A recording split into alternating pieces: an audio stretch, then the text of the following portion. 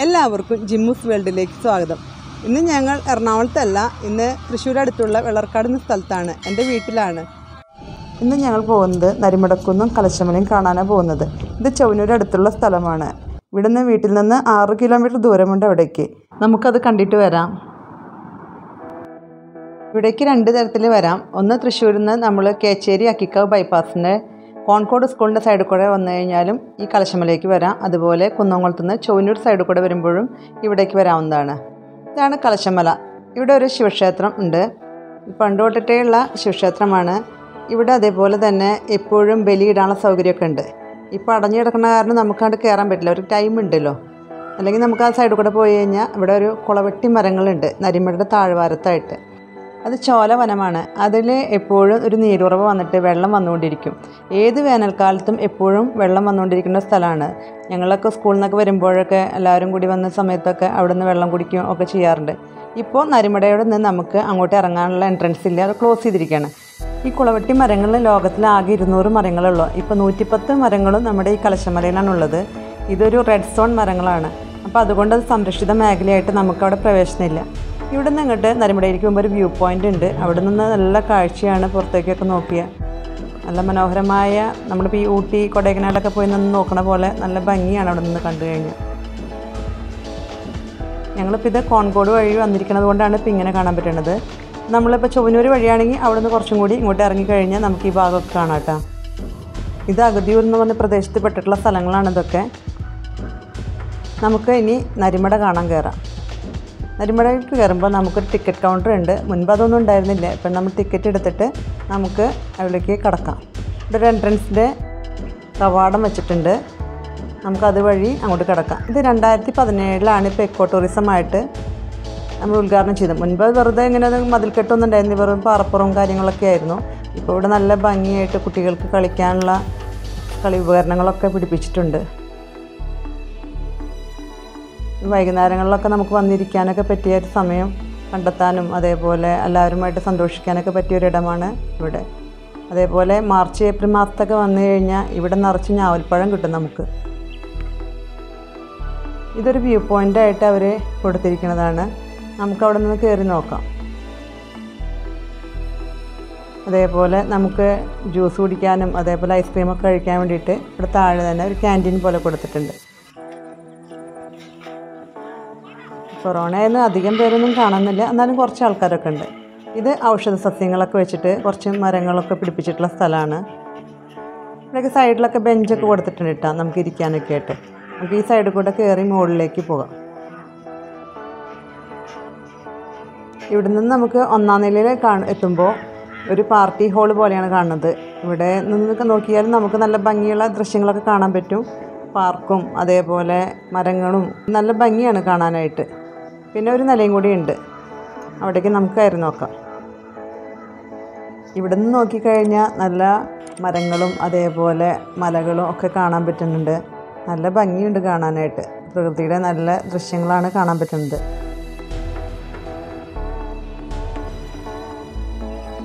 ആകാശമൊക്കെ കാണുമ്പോൾ എന്തൊരു ഭംഗിയായിട്ടാണ് തോന്നുന്നത്.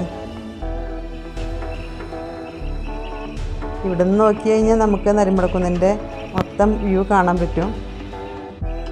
ഇതേപോലെ തട്ടുതട്ടായിട്ട് മരങ്ങളും ചെടികളൊക്കെ പിടിപ്പിക്കാനായിട്ട് കൊടുത്തിട്ടുണ്ട്. ഇനി ഇവിടെയും കുറേ പണികളുണ്ട് കേട്ടോ. ഫുള്ളായിട്ട് തീർന്നിട്ടില്ല. ഇതിപ്പോൾ ഒരു സ്വിമ്മിംഗ് പൂളിന്റെ ഭാഗമായിട്ട് പണിതിട്ടുള്ളതാണ്. അത് ഫിനിഷ് ആയിട്ടില്ല. അതും കൂടി വന്നു കഴിഞ്ഞാൽ ഈ ദേശത്തുള്ള കുട്ടികൾക്കൊക്കെ നീന്തൽ പഠിക്കാൻ നല്ല സൗകര്യമായിരിക്കും.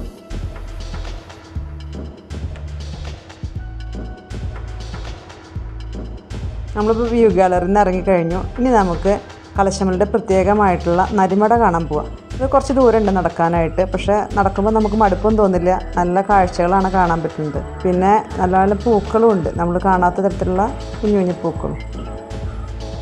മഴയത്ത് ഇങ്ങനെ കുട ചൂടി ഈ കുന്നും മലയൊക്കെ കണ്ടു നടക്കാൻ പ്രത്യേക ഭംഗി തന്നെയാണ്.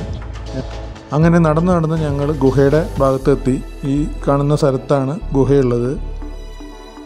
നല്ല പ്രകൃതി ഭംഗിയുള്ള സ്ഥലമാണിത്. ആ കാണുന്ന മരത്തിന്റെ അവിടെയാണ് ഗുഹ സ്ഥിതി ചെയ്യുന്നത്. നമുക്കത് കാണാൻ പോയിട്ട് ഈ കാണുന്നതാണ് ഗുഹയുടെ ഭാഗം. ഇതുവഴി നമുക്ക് ഗുഹയുടെ ഫ്രണ്ടിലേക്കൊക്കെ ഇറങ്ങിപ്പോവാം ഇപ്പോൾ മണ്ണൊക്കെ ഇടിഞ്ഞിട്ട് നമുക്കത് കടക്കാൻ പറ്റില്ല. ഒരാൾ പൊക്കത്തിൽ നീന്തി കിടക്കാവുന്ന രീതിയിലായിരുന്നു എന്ന് പറയാം അവിടേക്ക്. പണ്ട് മുനിമാരൊക്കെ താമസിച്ചിരുന്ന സ്ഥലമാണെന്ന് പറയപ്പെടുന്നത്. പിന്നെയൊക്കെ അതൊക്കെ കുറുക്കനും നരിയൊക്കെ താമസിച്ചിരുന്നു എന്നൊക്കെ പറയുന്നുണ്ട് ഇവിടെയുള്ളവരൊക്കെ. പിന്നെ നമുക്ക് ഇനി ഗുഹയുടെ ഫ്രണ്ടിലേക്ക് നടന്നു പോവാം. എന്റെ മമ്മിയുടെ വീട് ഇതിന്റെ അടുത്ത് തന്നെ ചൊവ്വനൂർ തന്നെയാണ്. അപ്പോൾ ഇവരുടെ ചെറുപ്പത്തിലൊക്കെ ഇവിടെ നിറച്ചും കാക്കപ്പൂ വിരിഞ്ഞിക്കും. അപ്പോൾ നമ്മുടെ മൂന്നാറിലൊക്കെ കുറിഞ്ഞിപ്പൂ പൂക്കണ പോലെ ഈ ഓണക്കാലത്ത് ഇവിടെ പ്രത്യേക ഭംഗിയാണ് കാണാനായിട്ട്. അപ്പോൾ നമ്മൾ ഗുഹയുടെ ഫ്രണ്ടിലേക്ക് എത്തി. ഇത് പല സിനിമകളിലും നിങ്ങൾ കണ്ടിട്ടുണ്ടായിരിക്കും. ഭൂതക്കണ്ണാടി അതേ പൊന്തമ്മാട അങ്ങനെ കുറേ സിനിമകളിലൊക്കെ ഒരു ഷൂട്ടിംഗ് പ്ലേസും കൂടിയാണിത്. ഇതാണ് നമുക്ക് മെയിൻ റോഡിൽ കൂടെ പോകുമ്പോൾ കാണാം ഈ ആർച്ച് ചൊവ്വന്നൂർ വടക്കാഞ്ചേരി കുന്നോളം റോട്ടിലുണ്ടല്ലോ ആ പാടത്ത് വെച്ചിട്ട് ഈ ഭാഗം കാണാം നമുക്ക്. ദൂരെ കാണാം. ഇതാണ് നരിമട. ഇപ്പോൾ വെള്ളത്തുള്ളി ഇങ്ങനെ ചെറുതായിട്ട് ഇങ്ങനെ വീണുകൊണ്ടിരിക്കുന്നുണ്ട്. നല്ല ഭംഗിയുണ്ട് കാണാൻ. ഇതാണ് ഗുഹയുടെ ഉള്ളിലേക്കുള്ള ചെറുതായിട്ട് കടക്കാൻ പറ്റുന്നത്. ഇത് കൂടെ ആൾക്കാർക്ക് നുഴഞ്ഞു കയറാൻ പറ്റിയിരുന്നെന്നാണ് പറയുന്നത്. അതിന്റെ അപ്പുറത്തെ സൈഡിലേക്ക് വരാൻ പറ്റും. പിന്നെ ചിലർ പറയാറുണ്ട് നമ്മുടെ ചൊവ്വനൊരു ഗുഹയുണ്ട് വേറെ. അവിടേക്കും ഇതിലേക്കൂടെ പോകാൻ പറ്റിയിരുന്നു പറയുന്നു. അറിയില്ല. ഈ മുനിമാരൊക്കെ പല രീതിയിലല്ല അവർ താമസിക്കുകയൊക്കെ ചെയ്യണത്. ഇവിടെ നോക്കി കഴിഞ്ഞാൽ നമ്മുടെ ചൊവ്വനൂപ്പാടം കാണാൻ നല്ല ഭംഗിയാണ് കാണാനായിട്ട്. അതിന് ആകാശത്തിന്റെ കളറും പിന്നെ ആ പാടത്തിന്റെ പച്ചപ്പും മരങ്ങളൊക്കെ കൂടി കാണുമ്പോൾ ഒരു പ്രത്യേക കണ്ണ് നല്ല കുളിർമയാണ്. ഇതൊക്കെ ഒന്ന് നമ്മളൊന്ന് കണ്ടു നോക്കണം. നമ്മുടെ അടുത്തുള്ള സ്ഥലങ്ങളൊക്കെ നമ്മൾ കണ്ടറിഞ്ഞിരിക്കണം. പിള്ളേരൊക്കെ കാണിച്ചു കൊടുക്കും വേണം. പിന്നെ മഴയായതുകൊണ്ടും പിന്നെ ബ്രദറിന്റെ പിള്ളേർ ചെറുതായതുകൊണ്ട് എന്റെ ഞങ്ങളെ മക്കൾ വന്നില്ല. വന്നു കഴിഞ്ഞ് സാധാരണ വരാറുണ്ട് ഇവിടേക്ക് ഞങ്ങളൊക്കെ. ഇപ്പോൾ ഒന്നുകൂടി ഭംഗി വെച്ചിട്ടുണ്ട് സ്ഥലങ്ങളൊക്കെ കാണാനായിട്ട്. അവിടെ നിന്ന് നമ്മൾ തിരിച്ചു വരുമ്പോൾ ഇതേപോലെ മരങ്ങളിലൊക്കെ ഊഞ്ഞാലൊക്കെ കിട്ടിയിട്ടുണ്ട്. നമുക്കൊക്കെ ഒന്ന് ആടി കളിക്കാനൊക്കെ ആയിട്ട് പഴയ ഓർമ്മകളൊക്കെ വരും. നല്ല ഭംഗിയുള്ളൊരു സ്ഥലമാണ് ഇവിടെ. ഗുഹയിൽ നിന്ന് ഞങ്ങൾ തിരിച്ചു. ഒരുപാട് വ്യൂ പോയിന്റുകൾ അവിടെ ഇവിടെയൊക്കെ പണിത് വെച്ചിട്ടുണ്ട്. പിന്നെ ഞങ്ങൾ മഴയായതുകൊണ്ട് വേഗം തിരിച്ചു പോവുകയാണ്. പിന്നെ ഫോട്ടോഷൂട്ടിനൊക്കെ കല്യാണത്തിന്റെ ആൾക്കാരൊക്കെ വന്നെടുക്കുന്ന മെയിൻ സ്ഥലമാണിത്. പിന്നെ ഒരുപാട് നടക്കാനുണ്ട് കേട്ടോ അവിടെ അങ്ങനെ ഞങ്ങൾ പുറത്തേക്ക് വന്നു. ജിംസി അവിടെ നെല്ലിക്കയും അതൊക്കെ മേടിക്കാൻ വേണ്ടിയിട്ട് അങ്ങോട്ട് പോയിട്ടുണ്ട്. ഈ പുറത്ത് ഇങ്ങനെ കുറച്ച് കച്ചവടക്കാരൊക്കെ ഇങ്ങനത്തെ സാധനങ്ങളൊക്കെ പിള്ളേർക്ക് കളിക്കാനുള്ള സാധനങ്ങളും ഈ നെല്ലിക്കയും അങ്ങനത്തെ സാധനങ്ങളൊക്കെ വിൽക്കാൻ കുറച്ച് കച്ചവടക്കാരൊക്കെ ഉണ്ട്. കരിമിടിക്കുന്നിന്റെ വീഡിയോ നിങ്ങൾക്ക് ഇഷ്ടമായ ലൈക്കും ഷെയറും കമന്റും ചെയ്യാൻ മറക്കില്ല കേട്ടോ. സബ്സ്ക്രൈബ് ചെയ്തിട്ടുണ്ടെങ്കിൽ സബ്സ്ക്രൈബും ചെയ്യണേ.